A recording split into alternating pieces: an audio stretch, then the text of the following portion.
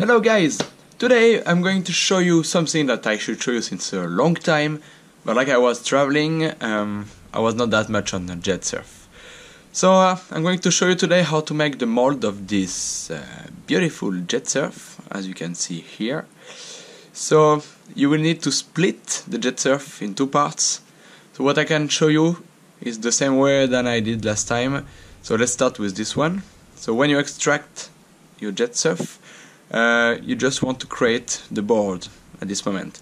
So I will just show you where I finished last time. Uh, the first thing that you have to know when you are like this, you need to work on an offset surface. Oh, uh, let me take the offset surface. For example, we're going to make the bottom, just this part. So if I show you the offset, I just made an offset uh, in six surfaces like as you can see here we can go in detail if I just double click on it. You will see I have six faces uh, like one here one here and one here and then three more there four five and six. So when you have these six faces you make an offset of zero millimeters and then you can work on it. The second thing uh, is that we are going to make a block. So I can show you on the on the other one for example. Uh, we are going to make a block like this. So you need to close all the surfaces that you can. So in this case we don't care about the top. We only care about the bottom. So the thing is that we are going to close uh, to close the small hole for the shaft and also the end of the JetSurf so the next step is to create a bridge curve that I can show you now.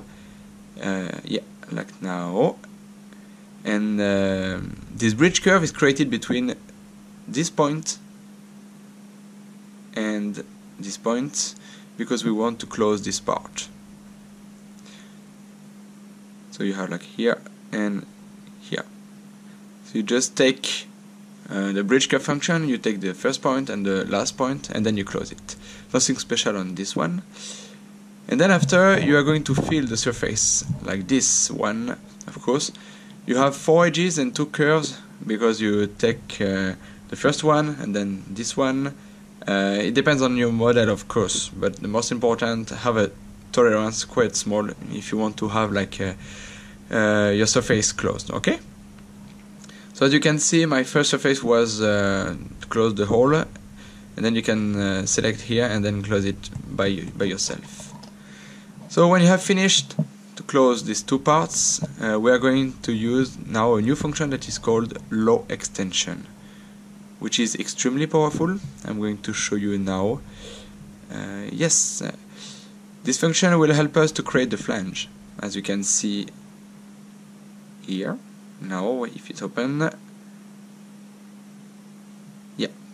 So the flange has to be perpendicular to z-axis, because if you are aware, z-axis is the tool axis normally on your on your milling machine. So what you need to know is to have like a perpendicular flange everywhere. So the low extension can perform this operation. As you can see, it's perpendicular to the axis everywhere. So when you have to specify the vector, you need to specify the z-axis, like like in this one. We can try now. Up. You might need to change. Uh, as you can see it's a mess because it's not performed on the good direction. Now it's the good direction but if I change you see it's inside so it's not correct. And then uh, when you will have the flange created perpendicular to the direction then this part will be done. So after you have the low type so usually I take constant. You can take 400 millimeters uh, you can know you can change from 400 to 200 it's up to you but you need to um, to have a big one because it depends. When you have to use the carbon fiber you need to spread like few millimeters ahead of the surface that you want. So by default I take 400 millimeters because I'm sure it will cut the block. Uh, you will understand later. I will I will explain you. So this is the most uh, the most important uh, uh parameters that you need to know. Uh, I just go back to 400 millimeters. And the other one is the low angle. Of course we need to take 90 degrees of course because I want to have something perpendicular to z-axis. Uh, of course you can change to 45 millimeters uh, 45 degrees sorry but it's absolutely stupid to take something like this. Uh, but I just want to show you how powerful is this function. And then after you will take uh, only one side for the extension side uh, if you take both symmetric you will also have an extension inside and we don't want. And then you have to click on merge faces if possible. So like that I will try to merge them like this one. Sometimes it can't make it so I'm going to show you after what we can do. But last thing that you have to know here is that you need to have a low tolerance about the position and the tangent. Uh, so when you have performed this operation the next one is to close as you can see the low extension is quite complex and sometimes it doesn't close this surface, but it's not a problem. We can close it manually by ourselves. So this is the technique that I found. So I can create some lines that I can, I can show you now. So when you arrive here, you just create a normal line in curve menu. Select point and then point to point. I just show everything like that to be simple. So you see you select uh, point to point. You select this one and this one and uh, you just create a normal line and then it will close it. Take care about uh, take care because you will also have some small very small surfaces that are not closed like here. So you have to check all the junctions okay then after you need to fill the surfaces. So you need to close the top. So for the surface you just select the three edges. So this one this one and then the curve that you created. And always a low tolerance. So I can go directly to all of them now because it was performed before. Ah, I forgot this one. So you close. Up now all of them are closed so now this the next that you have to, that you need to know is to uh, to sew. The fact to sew it means that for example when I stay like this, um, it will not select this one, but if you sew, it will create a single surface, and this is exactly what you need. Because when you will when you will have to trim, you will just select the sew, and uh, like it will be made in one operation. And the sewing function is quite simple and then uh, you will have a good trim. So the sew function is uh, here yes home and then more and then sew. So what you need to know you need to select one of the surfaces and then after you select the 14 other and try to have a low tolerance otherwise. Small otherwise you can get some troubles. Uh, sometimes you have to change this, but you have to play by yourself with that. It's up to you. So when the sew function is performed, the next thing to do is to create a block. So we can go directly to the block. And the block, uh, it will be the block of your mold. So you just make the dimension that you want, and then you perform this. You just make an, uh, the extrude. Be aware that you need an extrude that has to be above everything like that uh, you will be sure that it will take all of your JetSurf bottom uh, and then after that you need to trim.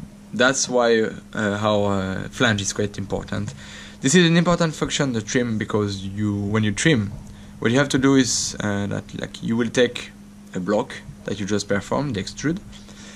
And then after you will take the plane which is the flange and that was the sewing function you just need to click on the sew and then automatically it will cut. After you change the direction that you want to keep, if you want to keep the top of the bottom, of course we want to keep the bottom now. and then you have this thing up. So after you can hide the top that I can like I show you now. Yes, hide. And then you hide inside. And here we go we have exactly what I have exactly what I want. So if you want this, then follow the steps. And then here we go. We have our parts and then this is the mold that you need to have at the end. Like that you will be able to put the carbon fiber on all the faces and then the carbon fiber should be able to go all along the flange. So later on we understood that this is not the best solution um, because when you will spread the carbon fiber you will create um, a natural blend edge I can, I can show you here. You see that you have the flange where you spread the carbon fiber. But then uh, at the angle it creates an edge blend which is not good uh, because we want a sharp one. So the first the first thing yeah you see it's here and then you have uh, the first uh, the thing that we want is to um, is to have a sharp one. So the first time we made a edge, uh, blend edge but for the top part we just made a straight. So we don't need this but I still want to keep this idea. It can be a good start. So before showing you the top part I just want to show you this. You also need to create the blank. Uh, the blank is like the the the block that you are going to that you are going to mill in our case we needed to make it uh, in the 3D model uh, because in the um, CAM module they ask for the blank. So uh, that's why we made this. Uh, our milling machine can only mill 166 millimeters according to z-axis so after the measure you need to perform the blank that I can show you now. So the blank is quite simple. You just create a block so we created a block of 100 millimeters as you can see here because we had form of uh, foam blocks of 100 millimeters and 50 millimeters. So for this one I created a block of 100 and then as you can see it's going over 100 like everywhere uh, what I showed you. So what I perform here is to make two blocks of 50 millimeters. This one is 60 because after I will add another block but it's not a big deal. So you can keep 50 here and then after you are going to extrude I can extrude both for example uh, yes so you have two blocks and then finally you unite everything and then you have the blank. This is the blank that you need to stick the form. Of course if you have a block a form block of 200 millimeters you don't need to perform this operation but at least I wanted to show you how it worked and how I made it. So I can be back to the other parts. The top. So I'm going to show I'm going to switch with the other window. I can show you now the top which is exactly the same. For the top is the same way what you need to know is to fill all the surfaces. And the principle is similar. So this time I will take the top part of course and then you will take the offset surface. Yes. Up uh, which is the same. So you see this one uh, is only an offset surface that I can yes. You see quite beautiful. You have to create a bridge curve to close this surface as well. And then after you need to fill all the surfaces. So up. So each surface as you can see you take the edges. Here is the same. Close everything. You close the, the four holes uh, four holes. Don't forget that you have one in front. So you also have to use the low extension as I showed you before. So it's the same uh, this time I took 200 millimeters. I could take 400 it's not uh, it's not a problem.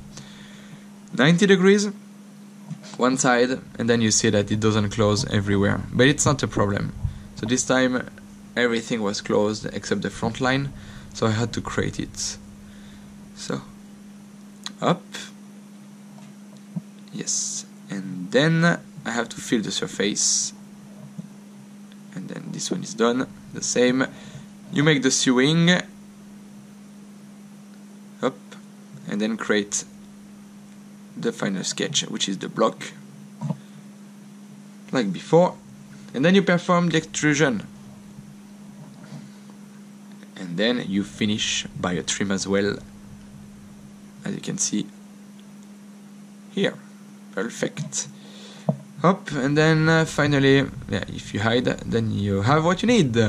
Up so when you have this then your mold is finished ta-da thank you guys for watching this video next time which is quite soon I will show you how to make the cam uh, with the cam module which is like uh, what kind of tool you need to use the cam operations the toolpath etc don't forget to subscribe to my channel if you want to see the next coming videos. Have a nice day!